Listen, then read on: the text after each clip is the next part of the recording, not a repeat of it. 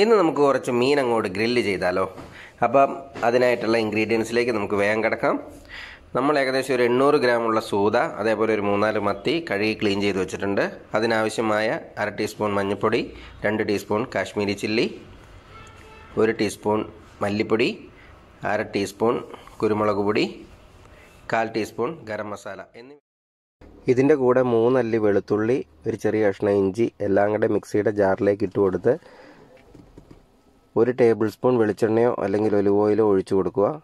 അതിനുശേഷം ഒരു നെല്ലിക്ക വലുപ്പത്തിൽ വാളംപുളി പിഴിഞ്ഞൊഴിച്ചിട്ട് ആ വെള്ളത്തിൽ നല്ല ഫൈൻ പേസ്റ്റായിട്ട് അരച്ചെടുത്തിട്ട് നമുക്ക് നന്നാക്കി വെച്ചിരിക്കുന്ന ഫിഷിലേക്ക് തേച്ച് കൊടുക്കാം. സാധാരണ ഗ്രില്ല് ചെയ്യാൻ ഉപയോഗിക്കുന്ന മീൻ എന്ന് പറഞ്ഞാൽ നെയ് കൂടിയ മീനായിരിക്കണം. അമൂറ് അതേപോലെ കാളാഞ്ചി. അമൂർ എന്ന് പറയുന്ന കാളാഞ്ചി സീബാസ് അങ്ങനെയൊക്കെ പറയുന്ന മീനുകളൊക്കെയാണ്. സാധാരണ ഗ്രില്ല് ചെയ്യാൻ ഉപയോഗിക്കുന്നത്. അപ്പം നമ്മളിന്ന് കൈ കിട്ടിയ ഒരു മീൻ സൂതയാണ്. സാധാരണ ചില സ്ഥലത്ത് ചൂര എന്ന് പറയും. ടൂണ ഈ മീനാണ് നമ്മളിന്ന് അതിന്റെ കൂടെ ഒരു മൂന്ന് മത്തിയും കൂടെ ക്ലീനാക്കി വെച്ചിട്ടുണ്ട്. അതുകൂടി നമ്മളിന്ന് ഗ്രില്ല് ചെയ്യുന്നുണ്ട്.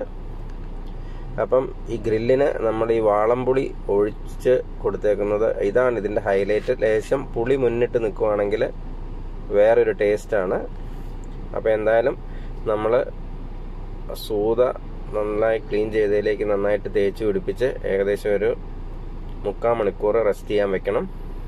അതിനുശേഷമാണ് നമുക്ക് ഗ്രില്ല് ചെയ്യാൻ. ഒമ്പയറിനോട് തലർത്ത് പാർസലാണ് പാർസൽ അനുപ്പുറ വരയ്ക്കും എനിക്ക് ഉറക്കമേ ഇല്ല സാറേ.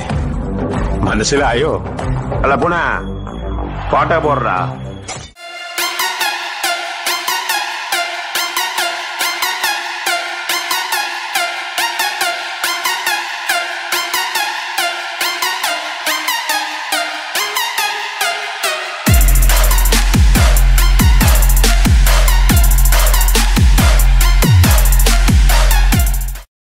അപ്പോൾ ഫ്രണ്ട്സ് ഇന്നത്തെ വീഡിയോ നിങ്ങൾക്ക് എല്ലാവർക്കും ഇഷ്ടപ്പെട്ടെന്ന് വിചാരിക്കുന്നു.